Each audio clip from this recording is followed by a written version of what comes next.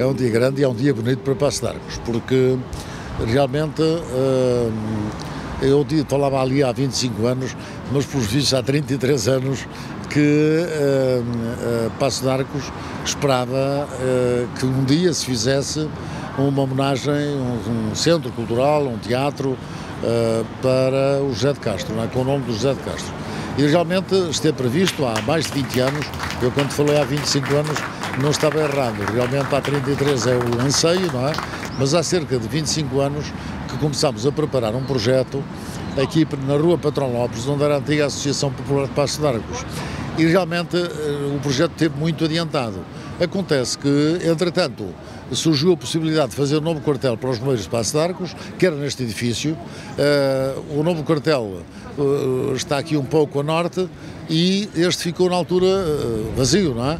E, portanto, a Câmara Municipal decidiu que, em vez de ser feito ali na Rua Patrão Lopes, seria melhor fazer o aproveitamento deste edifício, que tinha outras condições, realmente tem, não é? E, portanto, aqui está, é apresentado hoje eh, este auditório. No primeiro andar vai nascer um centro de saúde mental que será entregue ao Ministério da Saúde, mas é indiscutível que esta sala é uma sala polivalente, eh, que, como podemos verificar, tem uma acústica extraordinária, eh, mas que é uma sala preparada para teatro, para música, para espetáculo de música, concertos, conferências. Portanto, realmente pode, pode, pode ser uma sala que, que devidamente apropriada pela população aqui de Passo de Arcos, poderá ser um ponto de encontro extraordinário.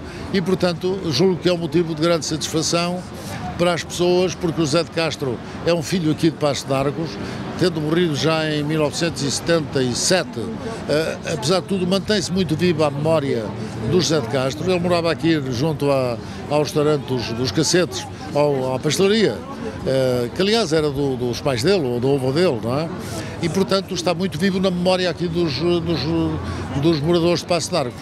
E, portanto, para a Câmara Municipal, para mim próprio, quero dizer, eu por acaso ainda tive o privilégio de conhecer o José de Castro, eu era muito jovem, eh, mas, mas ainda assisti a peças de teatro com ele.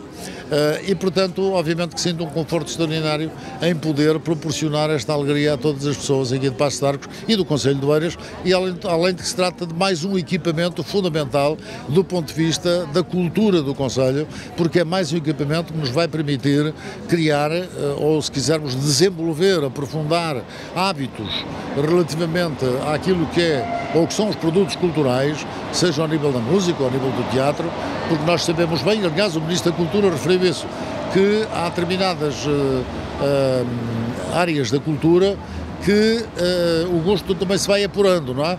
E para isso é necessário que as pessoas frequentem. Uh, ninguém nasce ensinado a gostar de música clássica, não é? Uh, ou, de, ou, de, ou de, de, uma exposição de artes plásticas.